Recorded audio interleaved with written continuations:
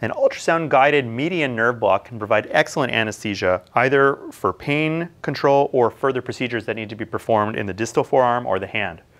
To complete the procedure, I'm going to use here the PAL scanner on a nerve preset. And I'm going to place the scanner roughly halfway between the wrist and the elbow in a transverse orientation, just in the middle of that forearm. And what I'm looking for is a honeycomb structure to represent the median nerve. Once I've identified it, I can scan up and down to ensure it's not a tendinous structure, but actually the nerve itself. Get it into a point of view that I like.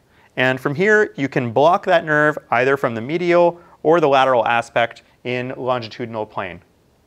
Bathe it with anesthesia, and you get distal anesthesia for the median nerve distribution of the hand. It's often combined with another forearm block to facilitate whatever it is anesthesia or analgesia you need of the distal forearm.